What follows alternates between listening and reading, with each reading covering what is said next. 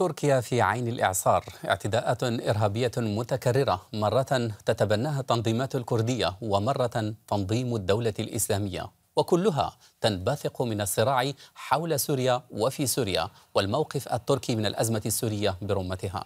فهل يقود التحول الجذري المتسارع في السياسة الخارجية التركية والذي تبلور في إبرام مصالحتين هامتين مع إسرائيل وسوريا؟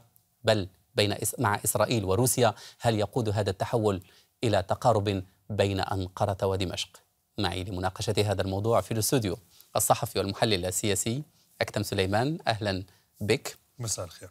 مساء النور. وفي انتظار أن ينضم إلينا من إسطنبول المحلل السياسي الدكتور علي باكير. سأفتح هذا النقاش وهذا الملف معك أكثم يعني هل تتوقع وذكرنا في المقدمة هل تتوقع أن يسرع هذا التوافق بين دمشق وأنقرة على الأقل في مواجهة الإرهاب بصفة عامة أن يسرع في عملية التوافق أو التقارب بينهما. على الأقل أحمد هذا هو رأي تنظيم داعش الذي أجاب بسرعة شديدة جدا على التقارب الروسي التركي والإسرائيلي التركي وعلى تغير المزاج العام في المنطقة. هذا يعني أن لدى التنظيم معلومات حول جدية هذه التحولات والتي لها أسابيع طويلة بالمناسبة ولكن تحمل ثمارها في هذه الأيام. هذا من جهة. من جهة أخرى إذا نظرنا إلى خريطة الأزمة السورية كخريطة فيها صراعات دولية روسيا والولايات المتحدة المتحدة الأمريكية صراعات إقليمية العربية السعودية وإيران والصراع داخل سوريا نفسها فإن بالتأكيد التوافق أو انسجام طرف دولي كروسيا مع طرف إقليمي هام كتركيا يساهم في حل الأزمة وإن لم يساهم في حل الأزمة فلن يساهم على الأقل في إشعال نار هذه الأزمة. سنقف بكل تفصيل عند هذه النقاط ولكن قبل ذلك أتوجه إلى ضيفنا في أنقرة المحلل السياسي الدكتور علي باكير. دكتور باكير أصابع الاتهام في اعتداء مطار أتاتورك بالأمس تتجه إلى داعش لماذا أصبحت تركيا هدفا للجهاديين في الآونة الأخيرة؟ طبعا في مثل هذه العمليات الإرهابية المرجح هو إما تنظيم داعش وإما حزب العمال الكردستاني وكلا الحزبين قاما بتنفيذ عمليات يعني خلال الأشهر الست الأخيرة دامية حقيقة. وهذا هو التفجير الأكبر في تاريخ تركيا من ناحية يعني الخسائر البشرية ومن ناحية المدنيين. طبعا إذا ما ثبت فعلا أن تنظيم داعش هو الذي قام بهذا العمل الإرهابي فهناك دوافع من دون شك إحداها أن تركيا قامت في الآونة الأخيرة بتشديد الضغط حقيقة على التنظيم سواء الخلايا التي تعبر بشكل غير مباشر أو الخلايا الموجودة داخل سوريا أيضا. يعني عبر الحدود تم تكثيف القصف المدفعي وهناك تعزيزات يعني عسكرية دائمة استعدادا لإمكانية القيام بأي عمل سواء عبر قوات خاصة أو ربما لاحقا عمل أكبر ضد تنظيم داعش. في وقت يعني يبدو التنظيم فيه محاصرة من جميع الجهات وبالتالي هذه العمليات هي عمليات يائسة حقيقة وتهدف فقط إلى إيقاع خسائر في المدنيين دون أن تحقق أي شيء. يعني على الصعيد السياسي لن تحقق هذه الهجمات أي شيء بل ستزيد ذكرت ذكرت دكتور علي بأن بأن الضغط من جهة أنكر أنقرة تصاعد في الآونة الأخيرة، لماذا تأخرت برأيك أنقرة في تبني هذا الموقف من داعش كل هذا الوقت؟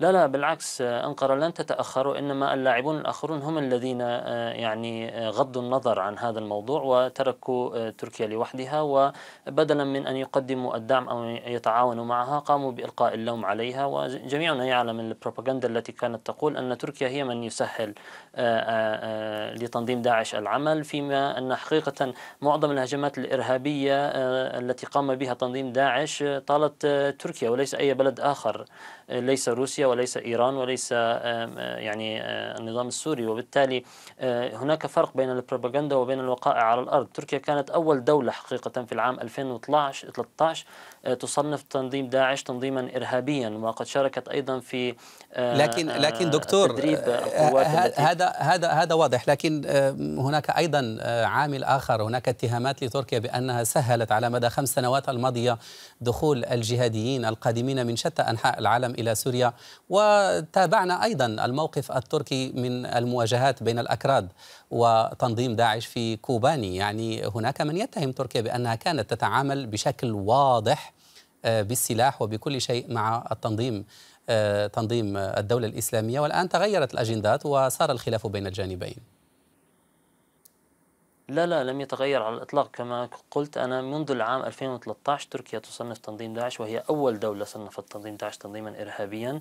لكن هناك فرق بين أن نقوم ببروباغندا وادعاءات لا تستند إلى حقائق وبين الوقائع على الأرض. يعني آه، نحن لدينا طبعا حدود تركيا طويلة جدا 910 تقريبا آه، كيلو متر مع آه، سوريا والعراق. ومن الصعب جدا السيطرة على الحدود في ظل دولة طبعا تركيا دولة سياحية و آه، آه، ليست دولة بوليسية وبالتالي فعملية الدخول والخروج ليست معقدة للغاية. لكن إذا كانت نية الأطراف الإقليمية والدولية فعلا صادقة للتعاون مع تركيا كان من الممكن أن يتم تقديم مساعدة لها لضبط الحدود ولمراقبة الدخول والخروج بشكل أكثر طيب تشددا. هل إذا, إذا كانت إذا كانت تركيا, تركيا قد, هؤلاء قد تركت قد تركت لوحدها في مواجهة آه، داعش والتنظيمات الأخرى ومواجهة أيضا حزب العمال الكردستاني.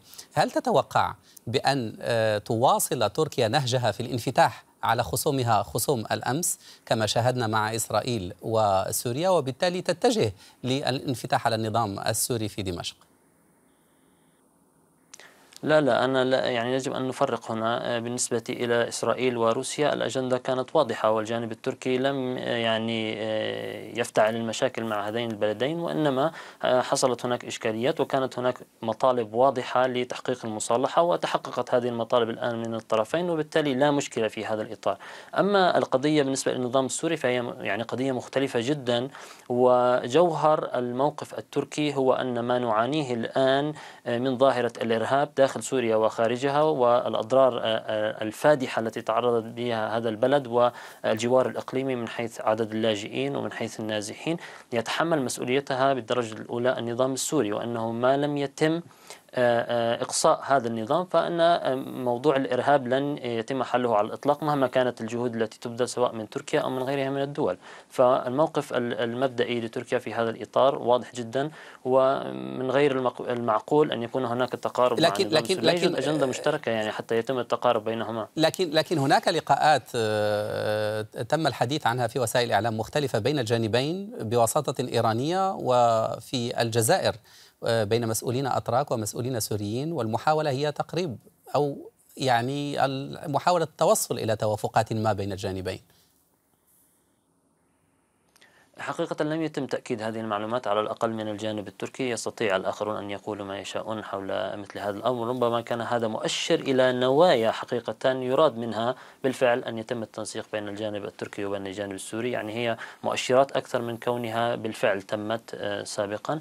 وكما سبق وذكرت أنا لا أرى أي رابط مشترك ل يعني أجندة توافقية يمكن التوافق عليها إذا كان التشخيص أن النظام السوري هو المسؤول عن الإرهاب فبالتالي كيف يمكن أن يتم التوافق على ماذا آه، في إذن هذا السياق؟ إذا هي هي آه، التهم آه، فيما يتعلق بالتعاطي مع داعش وتوظيفها توجه للنظام السوري أيضا وورقة داعش تحرق كل يد تمسك بها، هل تعتقد اكتم بأن بغض النظر عن الاتهامات بطبيعة الحال آه، بأن هذا الخطر الذي بدا بدأ يتعاظم في المنطقة وخاصة في شمال سوريا يمكن أن يحدث فجوة في العلاقات المتوترة أصلا بين آه، السلطات في كلا البلدين في تركيا وفي سوريا. آه، أكثر من ذلك. هذه الفجوة في العلاقات السيئة كما ذكرت وهذه الفجوة في جدار الصمت أو جدار الصدام قد وقعت بالفعل وإن كان البعض يبدو في تركيا لم يسمع بها بعد. آه، القضية صعبة أحمد. حاليا هناك عملية إرهابية في إسطنبول هناك أبرياء ماتوا. نحن كسوريين سواء كنا مؤيدين أو معارضين وخاصة نحن السوريين المؤيدين لدولتنا لا يمكن أن نشعر لا قدر الله بالشماتة لأن الإرهاب الذي حدث في إسطنبول حدث في سوريا على مدى سنوات الآن.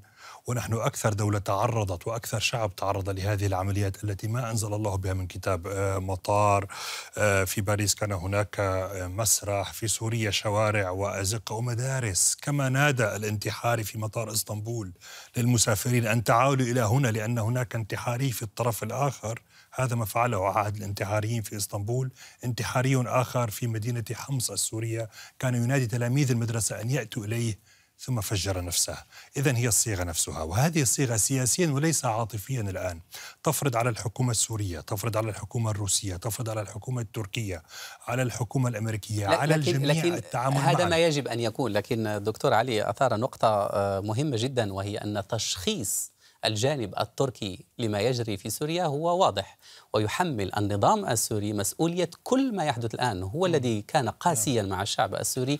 هذه القسوة هي التي أفرزت هذه التنظيمات الإرهابية. هذا التشخيص التركي نعم. لابد من آه، توضيح الأمر للدكتور آه، أردوغان بأن تشخيصه في السنوات الماضية قد- قد أودى بالدولة التركية إلى هاوية العلاقات السيئة من صفر مشاكل إلى صفر أصدقاء في المنطقة. يعني لا مع العرب ولا مع الإسرائيليين لا مع مصر ولا مع سوريا. لا مع الروس ولا حتى مع الحلفاء الأمريكيين والأوروبيين خلافات مع الجميع. هنا يجب فعلا بحث قضية من الذي يشخص. هناك تفاؤل بخروج المشخص الأكبر داود أوغلو رئيس الوزراء السابق الذي اتهم بأكثر من محفل عربي بأنه هو من كان يدير السياسة الخارجية. الآن يقولون لك سياسة مبدئية تركية تجاه سوريا. يا سيدي سوريا لم تهاجم أسطول الحرية في البحار وتقتل أتراك. الدولة السورية لم تفعل ذلك. الدولة التي فعلت ذلك يقول لك الآن إنهم اتفقوا معها على نقاط معينة وعلى أمور ووجدوا حلا وسطا. إن من يجد حلولا وسطا مع دولة هاجمت سفنه التي لم تكن تفعل صحيح، إلا صحيح، إلا خرق إلا خرق حصار على غزة المحاصرة ألقت سيجد حلولا كثيرة هذه بالحالة الدولة السورية. ألقت براميل على أحياء ودمرتها بالكامل آه، أفنت مدنا وبلدات بالكامل. يمكنك أن تفتح يعني الملف هذه الإسرائيلي اتهامات القضية- توجه للنظام السوري. يعني هو أيضا آه، نعم آه، تعامل بقبضة حديدية مع تعامل السوري. النظام السوري ما تسميه النظام السوري الجيش السوري الحكومة السورية مع شعبها وبالعكس قضية سورية تحل سوريا لا علاقة لشخص اسمه رجب طيب أردوغان بذلك لا من قريب ولا من بعيد أكثر من تصريح هنا أو تصريح هناك. هذا ما يجب أن نفهمه. طيب يعني في فهم بعض العرب الآن. ه- هناك هناك دخول للروس على الخط. آه، اليوم تصريحات للافروف لم يستبعد أن تساعد المصالحة الروسية التركية. في آه، حل الأزمة السورية بشكل ما، يعني هل تعتقد بأن الروس آه، تعبوا من الخوض في غمار هذه الأزمة المستمرة آه، على مدى خمس سنوات دون أن يبدو لهم أي حل في الأفق؟ مستبعد أحمد يعني في اللحظة التي يعتذر فيها أردوغان وحكومته أن يشعر الروس بالتعب يعني الروس لا يشعرون بالتعب عادة في دبلوماسيتهم لسنوات فما بالك في لحظة إن شئنا تسميتها بين قوسين انتصار دبلوماسي لولا أن الحادثة حادثة حزينة إسقاط الطائرة الروسية. بالعكس الروس يرون, يرون فرصة حقيقية على أساس ما ذكرته لك آه للتو. لا توجد صراعات تحدث في العالم لأن ألف ألقى براميل على باء. هذه الأفلام القديمة يجب أن ننتهي منها. هناك ممولون هناك سلاح هناك مصالح هناك أطراف داخل طيب، سوريا وخارجها. في إطار- في إطار هذه المصالح. توافقات في هذه طيب في الدوائر. اطار هذه التوافقات الا تعتقد بأن تركيا الآن هي من يحاول أن يستغل الصراع والخلاف في وجهات النظر خاصة من الحرب الدائرة في حلب وريفها بين روسيا من جهة وإيران والنظام السوري والميليشيات التي تدعمه من جهات أخرى لخلق ثغرة والتوصل مع روسيا وهي الأقوى في هذا الإطار إلى توافقات تحمي مصالحها في شمال سوريا. آه، لم يدخل الروس ولم يدخل الإيرانيون ولم يدخل الأتراك سوريا على أساس قال لي وقلت له أحمد هناك حسابات استراتيجية دقيقة لكل هذه الأطراف. لذلك لا تتغير المواقف لأن هذا قال لذاك حسنا دعنا نكون أصدقاء. هي هي في واقع الآن على الأرض أن الطيران الروسي لا يغطي العمليات العسكرية للميليشيات آه، الداعمة للنظام ولا للجيش آه، السوري في هذه المنطقة وهذا واضح وتكبدوا خسائر آه، جسيمة خلال الأسابيع لم, الماضية. لماذا لم تصل المعارضة يا أحمد؟ ما دام الأمر كذلك إلى دمشق. إذا هناك غطاء جوي روسي. الآن أين يبدأ؟ أين ينتهي التفاصيل العسكرية؟ ليست لدينا. ما لدينا أن هناك تحالف دولي على رأسه روسيا وإقليمي على رأسه إيران وداخل سوريا تمثله الدولة السورية في مقابل تحالف آخر على رأسه دوليا الولايات المتحدة الأمريكية. إقليميا حاليا العربية السعودية كانت قطر وتركيا والآن تخلخل وضع تركيا وداخل سوريا جبهة النصرة وبعض الفصائل المسلحة الأخرى إذا أردنا إخراج داعش من هذا الأمر. إذا هناك نعم فرصة كبيرة الآن لتحسين أمور كثيرة. هذا الذي يصفه أردوغان بأنه مبدئي وغير مقبول كان يقضي إجازته مع زوجته في حلب مع الرئيس بشار الأسد وزوجته وكنا طيب. نمل من هذه الصور. إذا إذا آه، دعني أعود إلى الدكتور علي بكير يعني آه، سمعنا أيضا من آه، الرئيس التركي رجب طيب أردوغان أن شرط المصالحة مع إسرائيل هو رفع الحصار عن قطاع غزة وتمت المصالحة ولم يتم رفع الحصار. هل تعتقد بأن تشخيصه للمسؤول عن ظاهرة انتشار الإرهاب في سوريا قد يصبح غير ذي قيمة وبالتالي يتوجه آه، مرغما للتصالح مع النظام في سوريا بشكل أو بآخر لتحجيم الأكراد من جهة وداعش من جهة أخرى؟ لا لا أعتقد هذا. وعندما نتحدث عن ما جرى عن إعادة تطبيع العلاقات بين تركيا وإسرائيل يجب أن نذكر أيضا أن الجانب الإسرائيلي طالب بإعادة جثث آه، جنود إسرائيليين كانوا قد قتلوا في المعركة والجانب التركي لم يلبي هذا الشرط أيضا الجانب الإسرائيلي وبالتالي تم التنازل من الطرفين آه، على أن يتم ضمان أيضا تحسين وضع آه، غزة وبالتالي لا يمكن القول أنه سيكون هناك حصار كما هو مفروض منذ ست سنوات. هذا أولا. في الموضوع الثاني التشخيص آه، كما سبق وذكرت الجانب التركي ليس حكرا على تركيا فقط. حتى الدول التي آه، حقيقة تسهل بقاء النظام السوري ومنها إدارة أوباما أيضا تتفق على أن هذا النظام هو المسؤول عن مقتل أكثر من نصف مليون مواطن سوري ومسؤول عن جعل أكثر من نصف سكان البلاد. 12 مليون نسمة بين لاجئ ونازح. وأنا باعتقادي الشخصي لا يوجد شيء أصلا اسمه النظام السوري. من يسيطر الآن على القرار آه، السياسي وعلى القرار العسكري آه، هو آه، طبعا الميليشيات الشيعية والمرشد الأعلى الإيراني وبوتين. وأما ما يقال عن إذا إذا كيف ستتعاطى كيف ستتعاطى جرجروه مؤخرا إلى القاعدة العسكرية الروسية؟ كيف يمكن لتركيا الآن على على أي جهة يمكن أن تعتمد لي منع أو حصر تقدم الأكراد في الشمال وبالتالي لمنع هجمات كالتي وقعت بالأمس في مطار أتاتورك؟ آه، الحل الوحيد كما سبق وذكرت للقضاء على آه، هذه الظاهرة ظاهرة داعش وظاهرة الحركات الإرهابية الأخرى الميليشيات الشيعية وظاهرة الحركات الكردية المسلحة هي التخلص من النظام السوري. وتقريبا الجميع متفق على هذا لكن هناك اختلاف عن متى يتم استبداله وبمن آه، يتم استبداله حقيقة. وأعتقد أن الجانب التركي الآن بعد الآن إعادة تطبيع العلاقات أيضا مع الجانب الروسي سيبحثون يبحثون هذا الملف يعني لا أحد يبحث مع ال ال ال ما يسمى النظام طيب. السوري النظام السوري يتم إعطاؤه الأوامر من قبل روسيا ومن قبل طيب. إيران ومن قبل حزب الله حتى يعني فبالتالي هو غير موجود عمليا على الأرض يعني طيب. التفاوض سيتم مع الكبار ومع الجانب الروسي وأعتقد أن المفاوضات الجانب التركي حقيقة كان قد أبدى ليونة بالموافقة مع الجانب السعودي أيضا كان قد أبدى ليونة بالموافقة على بقاء آه، آه، بعض آه، رموز هذه السلطة في بضعة أشهر من المرحلة الانتقالية.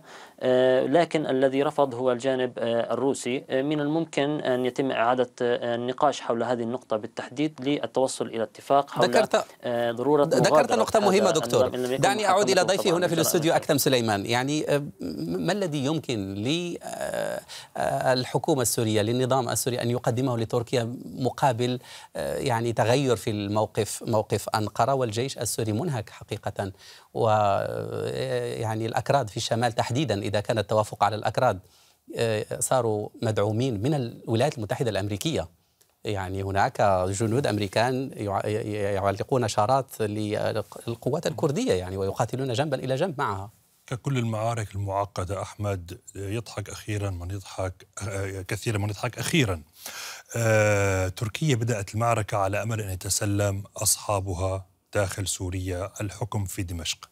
فانتهت إلى أن أصحابها أولا لن يتسلموا الحكم وثانيا الأكراد سيحصلون على الحدود على ما يشبه على الأقل دولة مستقلة. هذا هو فشل لكن ما الذي يمكن أن يقدمه النظام في هذا الإطار لتحجيم لا الأكراد؟ يمكن لا يمكن لأي حكومة سورية لأي رئيس سوري لأي منظومة حاكمة في سوريا أن تقدم لتركيا شيء فوق الأراضي التركية. الأراضي السورية. هذا أمر منتهين منه يعني. ما هو موجود هو حوار سوري. سوري بدأ في جنيف ومبادئ جنيف وفيينا وضعت فعلا أساس لأمور كثيرة من حكومة الوحدة الوطنية إلى تقاسم السلطات إلى البحث آه، في تغيير الدستور إلى أمور كثيرة. هذه كلها يناقشها السوريون بين بعضهم البعض. أما بالنسبة لتركيا يمكن القول أن الحكومة السورية ستمتنع مستقبلا عن القول أن الوزير الفلاني في تركيا أو الرئيس العلتاني يتوجب يترك الحكم بعد كذا وكذا من الشهور أو كذا وكذا من الأيام. هذه الأمور آه، انتهت. يعني الفترة الماضية التي كان كل فيها يتدخل في الشأن السوري يجب أن نفهم أنها تدخلت. تركيا الآن في لحظة تحتاج فيها وهذا لا يعيبها بالمناسبة. منذ البداية تحاول الحكومة السورية إفهام تركيا أن اللعب بهذا الشكل لن يكون في صالح تركيا قبل سوريا. إذا يحتاج الجميع الاستقرار في المنطقة. إلى هدوء على الحدود إلى توافق على المسألة لكن الكردية. هذا سيؤدي بالضرورة إلى تقسيم سوريا الأكراد عندهم أجندة خاصة بهم آه، سيطروا على أراضي طويلة أكيد, و... أكيد كل فئة في سوريا لديها أجندة حتى لا نتهم الأكراد وكأنهم آه، أعداء الجميع الآن لست ميالا إلى معاداة الأكراد لكن مع ذلك الأكراد كغيرهم في سوريا عندما يرون خيوط حل سياسي حل عام لسوريا آه، خروج لمتدخلين دو متدخلين دوليا سيلتقون مع باقي إخوانهم السوريين، أما عندما يجدون التركي يشد من جانب والسعودي من جانب والآخرون أيضا من جانب آخر فيقولون وهذا أمر طبيعي نحن نريد حصتنا من هذه المعمعة، يجب أن ننهي المعمعة كي لا يطالب احدا بحصته إلا داخل فعلا مساحة هذا الوطن، سواء كان وطنا سوريا في حالتنا أو وطنا تركيا كما في حالة الأخ من إسطنبول أو من أنقرة. طيب هل تم الحديث بين تركيا؟ دكتور آه، آه، علي بكير هل تم الحديث آه، بشكل من الأشكال فيما يتعلق بتصور تركيا للحل السياسي في سوريا خاصة وأن رئيس الوزراء التركي تحدث عن الحرب في سوريا المستمرة منذ خمس سنوات وصفها بالحرب العبثية؟ هذا يشير أو مؤشر على أن هناك تبدل في وجهة نظر تركيا في هذا الشأن. ليس هناك تبدل حقيقة. الجانب التركي يدعم العملية السياسية ويدعم الانتقال السياسي ووافق على كل ما طلبه حتى الجانب الروسي أو الجانب الأمريكي لكن أبدى يعني حرصا على ضرورة أن يغادر آه، الأسد والدائرة المحيطة به ممن أسالوا دماء السوريين. السلطة للقضاء على الإرهاب لإمكانية توحيد أجندة مختلف اللاعبين الإقليميين والدوليين للقضاء على الإرهاب مؤكدا أنه لا يمكن القضاء عليه ما لم يتم إزالة هذا النظام.